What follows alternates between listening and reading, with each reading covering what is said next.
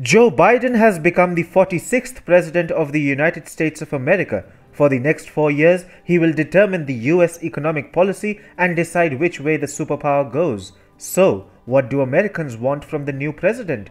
Jobs, lower taxes, deregulation, and brisk growth. You know, average things that a human being desires. But Biden has different plans. He is getting overwhelmed by fellow Democrat Bernie's radical socialist dreams. The initial signs are that issues like gender politics, climate agenda, and tackling the so called white supremacism are going to overpower traditional economic considerations like GDP growth, inflation rate, deficits, jobs, and tax rates. Clearly, Bernie Sanders is dictating the Biden administration's economic policies. And to be precise, it is not just left leaning, but radically left. The message being sent across is clear American economic power is going to move from Wall Street to Washington. So, expect more regulation, more taxes, and you know, radical socialism in general. Biden is even expected to nominate Wall Street foe Gary Gensler as head of Securities and Exchange Commission. Biden's economic policies are thus going to be overwhelmed by radical leftists. This is different from other past democratic regimes like the Obama and Clinton administrations.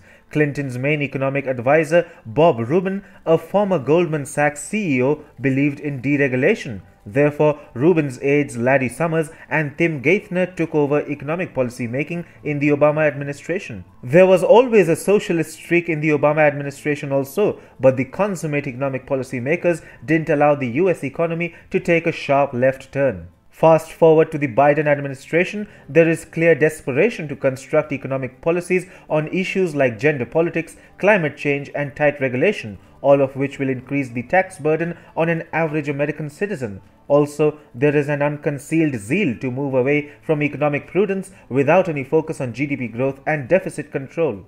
And in the entire tumult, Bernie suddenly finds himself in the thick of things. Previous Democrat presidents were moderates, so the radical socialist was never a welcome face in their Oval Office. But with Biden, things are different. As soon as Biden got nominated as the Democrats' presidential candidate, Bernie's staff hijacked the Biden campaign and started injecting socialistic ideas bordering on communism. Now, Bernie himself wants to be the chairman of the Health Committee, he has an innate desire to make American healthcare even more socialist than the Cuban health system. The pro Bernie Democrats like Ilhan Omar and Alexandria Ocasio Cortez have also been successful in pushing through their ideas like the Green New Deal, banning fracking, and increasing taxation. As such, champagne socialists are bound to take hold of Biden's economic policy making.